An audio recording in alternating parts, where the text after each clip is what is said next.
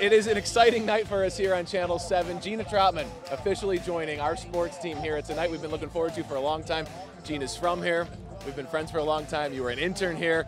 I welcome you to the team and welcome to our to our community here. Thank you. I am ecstatic to say the least. Um, like you said, I interned here back in 2010 when you started. So whether or not you want to give yourself the credit, you have been a mentor to me and a friend to me. Now I get to call you boss, even though you get mad when I call you boss. But I'm so excited. I love to storytell.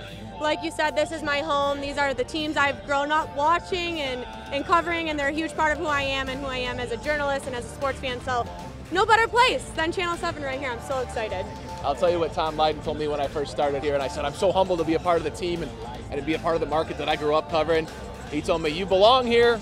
Now go out and earn it and prove it to the people each and every day. She eats and breathes and sleeps the sports community. She understands it all, and you belong here. We've been waiting for this Thank moment you. for a long time. Thank you so much. Carolyn, I know how much you love being a part of this city, being a part of this community. Jeanna is from here, her family is from here, and we welcome her to our team, and I know you do too. We absolutely welcome you, Jeanna and Brad. You've done a marvelous job, and so glad she's part of your team, and we can't wait to see you bring it.